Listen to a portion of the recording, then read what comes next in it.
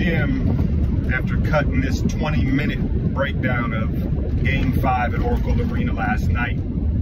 Um, man, it's first thing I'll say is, man, we've been spoiled as Warrior fans, and I'm kind of ashamed in my fandom and how weak I am when we face adversity. And you know, it's just just like the Warrior players themselves, right?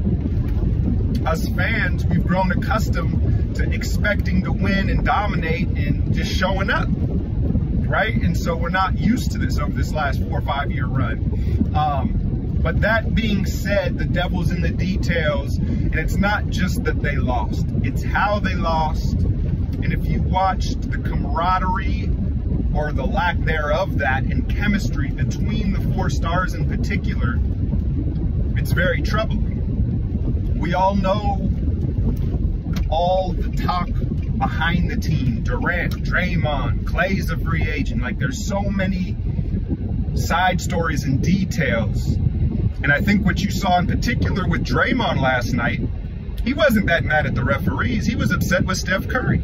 He was upset with Steph Curry and his lack of aggression.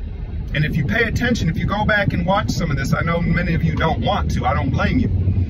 A lot of the time, Draymond's very patient with the ball and he waits for Steph to get open. He wasn't as patient last night. You saw him jack up the two for one pull up three, took a couple of bad mid range shots. And I think part of that was one, he realized, yo, Steph's not really fighting to get open. And two, it was kind of passive aggressively letting Steph know, like, fuck you then, I'll shoot it. I know you don't want me shooting it, but I will because you ain't. And so I think he had a little bit of misplaced anger and aggression towards the referees in that blow up. Now, the referees, I'd love to just sit here and say, like, that's not part of the story. Obviously, that's part of the story. And my theme through my breakdown this morning was keep that same energy. It started in Minnesota with taunting, and it's really been a storyline all year with how aggressive the Warriors have acted towards the referees, showing them up, and frankly, not treating them like human beings. They make terrible calls, right? And they are. It is. It's frustrating. But you have to understand it's an accumulation. They're not going to forget what happened in Minnesota. And so you're seeing the repercussions of that with some of these calls, like the four point play, uh, the charge on Klay Thompson. Go back and look at that. Beverley was his, he moved his foot again. Klay was already in the air. He already had his knee up in the air in his layup motion. Um, but it was hard for me to get too upset about those calls because frankly, they didn't deserve it. Now, I felt like this in this run. There's been times where I'm like, yo, this ain't it. This ain't our year. We're going to collapse. This ain't happening. I felt like this before and I've been wrong, but this year it feels different, right? Warrior fans, it feels different. Um, but all we can do is remind ourselves the privilege that we've had being on this run, continue to support them and hope for the best. I'm here trying to make this turn on this green light, and I got this old lady just hawking up the lane, man. She cruising across the crosswalk. I made it though. But all we can do is hope for the best, right? and just keep watching. Now, are they going to make it out of this first round? Yeah, I would I would hope so. I will say that when these these dynasties do end, they kind of end abruptly and shocking, right? So you can't take anything for granted. I assume we're getting out of this round now. Is there going to be a casualty of war in this game six? Is someone going to turn an ankle? Someone going to bang a knee? That's that's the real thing that I'm concerned about. It's not necessarily playing the game. It's that it's another risk of injury especially to our older players. But the, here's the thing with this Houston series, and I'll be I'll keep it a, a complete buck with y'all. I'm fine if we don't three-peat.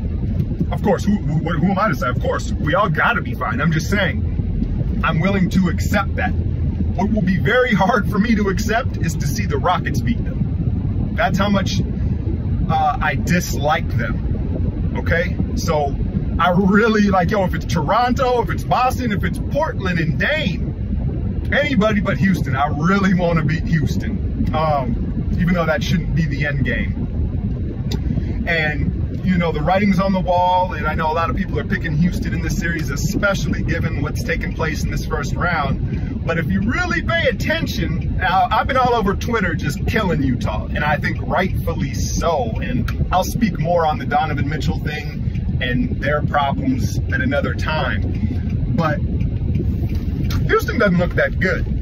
Houston doesn't look that good. Not a numbers guy. I'm not going to point to the percentages. And yes, the oh, you know, you can go look at the numbers and tell as well. But they don't look great. It's not last year's team. Now, if we were heading into this matchup against last year's Rockets team, I think they take us out. I think they take us out. This year's neither the Rockets or the Warriors, I think, are as strong as they were a season ago. So, and here's the one thing that I'll say about that matchup is I think Houston will have their attention every night. So you, a lot of the times you see it at all levels of sports where a team comes out overconfident or arrogant, not respecting the opponent, not having a healthy fear, and they get jumped on and they're never able to recover. I think if we're fortunate enough to make it to this second round with the Rockets, we're not going to see that. If the Rockets beat them, it's going to be square up. Hopefully there's no injuries from either side, right? But I don't think we're going to see, we, there, there can't be that excuse of, oh, they didn't take them serious. They're not motivated. This is the rivalry, the marquee rivalry in the NBA now. Hopefully we still get it. And hopefully we get all we ask for. And man, I want to take them out. I want to take them out. Anyway, this was a quick hitter. I spent so much time and energy on my Patreon videos. I'm not able to hit you with as many YouTube and other, other format videos, but I still wanted to touch base with all of my followers and Warrior Nation about where my head's at and uh, what I think moving forward. I'm out, y'all.